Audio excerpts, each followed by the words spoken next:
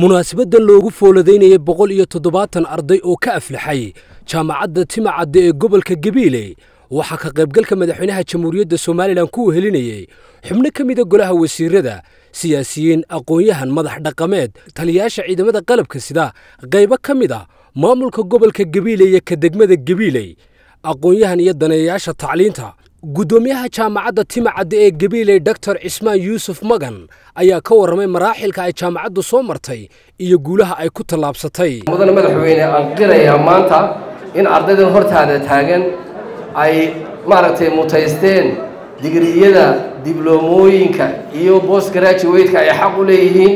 Maanta laga bilaabana ay xaq u leeyihiin in macnihii la siiyo shahaadooyinka ay xaq u leeyihiin ujeeddada timacadda loo aasaasay waxaa kow ka ahayd in ay joojiso guuritaankii reer gabil ay u guuriyeen magaalada hargeysa iyo magaalooyinka kale dalka si ay waxbarasho jaamacadeed ay carruurtooda ugu helaan. Maanta baahidaasi way dabooshay. Waxaa kor u kacay. Ardayda soo gelaysa jaamacadda timacadde aada korba u kacday waxaan odhan karnaa way libilaabantay tayeynta maamulka oo iyadana aan samaynay maamul daadejin aan samaynay taasi oo iyaduna wax badan ka tartay tayada waxbarashada jaamacadda timcadde. Maanta iyaga ayaa laga rabaa in qaranku wixii uu geliyey inay dib ugu soo celiyaan qaranka iyaga laga rabaa maanta.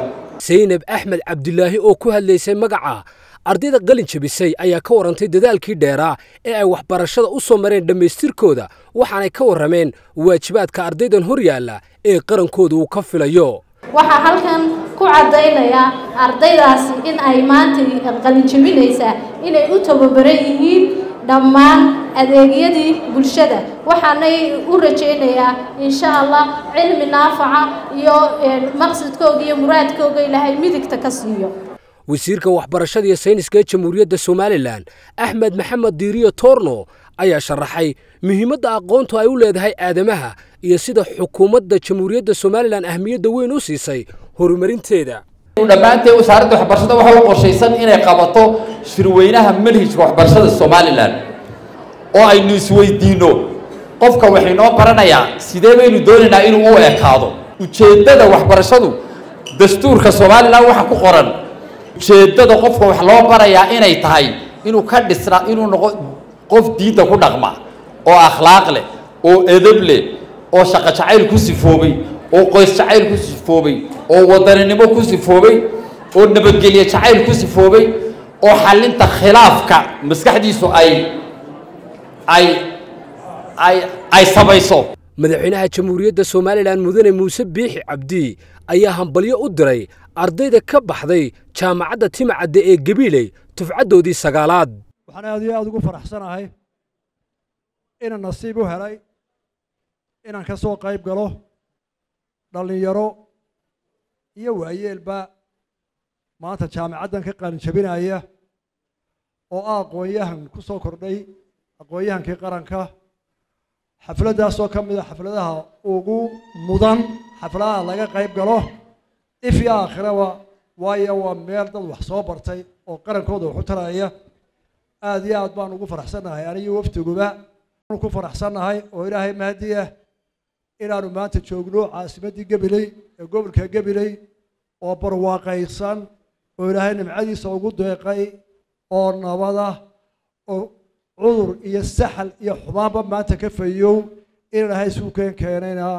Waa alxamdulilaahi waa ilaahay mahadiyo ilaahay baan ugu mahadnaqayaa. Mar labaad hambaliyo hambaliyo hambaliyo madaxweynaha jamhuuriyadda somalilan mudane muuse biixi cabdi ayaa u mahad celiyey shacbigweynaha ku dhaqan gobolka gabiiley sida milgaha madaxtinimo leh ee wafdiga uu hogaaminaya ay u soo dhoweeyeen. Waxaanuna aada iyo aad idinka mahad celinayna anoo ku hadlaya magaca wafdiga dadweynaha reer gabiley ilaa intii aanu soo soconnay saaka meel walba soo dhoweynta aada iyo aada u diiran ee xamaasada badan ee aada nagu soo dhoweyseenna sheekh iyo nin mii joogoon qur'aanka aqoon ama waran leh rag iyo dumar carool iyo ciroole aada iyo aad baan idinka mahadnaqayn xilka kale qaranku gabri ka doonaya waa maxay? Ilaahay wuxuu dhigay buqcad gabiley ay isku xidhayso afrika inteeda badan iyo somalilan marinka adduunku maanta raadinayo ee badda laynooga yimaada waa berbera. Berberi sanadka dambe waxay qaadaysaa waxay noqonaysaa dekedda ugu weyn africa marka laga reebo durban oo south africa. Hadday dherar tahay iyo hadday ballaar tahayba waxaynu ka sugaynaa sanadka laba kun iyo labaiyo labaatanka ama saddex iyo tobanka horraantiisa oo sanadu inaga xigo iyo bilo in berbere ay ka soo degaan kontaynaro ka badan milyan iyo badh kontaynarada waddada qura iminka samaysan inta waddooyinka kale la samaynayo ay ka baxi doontaa waxa weeye waddada wajaalo ka gudubta oo ah gobolka gebile gobolka gebile waxaa ku soo baxsan doona inay meelayso sideed boqol ilaa hal milyan oo kontaynar meeshii la dhigi lahaa oo la yidhaahdo zoonka ka cashuurta ka caagan. Qofku muxuu kuugu imanayaa ammaan inuu kaa helo xoolisa inuu kaala bixi karo inuu kula baac mushtarayn karo inuu ku fahmi karo. Hadda ogaada hawshaasi haw sahlan maaha. U diyaargarooba u baahan tahay maskaxeed. U diyaargarooba u baahan tahay ilbaxnimo. Waxaa kaloo rajaynaynaa sanad soo socda inay bilaabanto. Waddan tanleeg oo ka soo baxda laweecaddo oo soo marta boorame oo ilaa burcays ku xidha.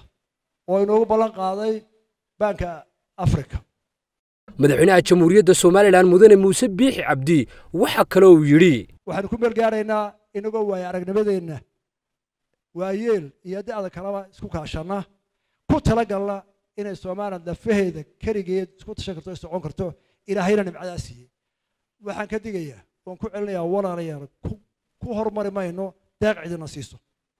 Waxaan idinku hambaryeenaynaa haddaad tihiin gobolka gabiley nabadgelyada aad horseedka ka tihiin mudane muuse biixi cabdi madaxweynaha jamhuuriyadda somalilan ayaa tacsi u diray shacbiga somalilan ee uu ka baxay alle naxariistii jannaha ka waraabiye suldaan cumar suldaan maxamed suldaan faarax oo ku geeriyooday carriga turkiga. Maanta waxaa geeriyooday suldaan cumar suldaan maxamed suldaan faarax. Turkiguu ku geeriyooday naxariistii janna allaha ka waraabiyo qoyskiisii iyo ummadda somalilandna samriya imaan allah ka siiyo wixii dhintee muslimna allah u naxariisto. Innagana allah daba naxariisto. Meydkiisana waa la soo qaadi doonaa. Koley hargeysaa lagu aasi doonaa. Tacsidaana dhammaantiin waa u gudbanaynaa qoyskii iyo qaranka somalilandba madaxweynaha jamhuuriyadda somalilan mudane muuse biixi cabdi ayaa shahaadooyinkii guddoonsiiyey ardayda ka aflaxday jaamacadda timacadde ee gobolka gabiiley ridwaan caydiid ismaaciil akiid. Warbaahinta qaranka jamhuuriyadda somalilan magaalada gabiiley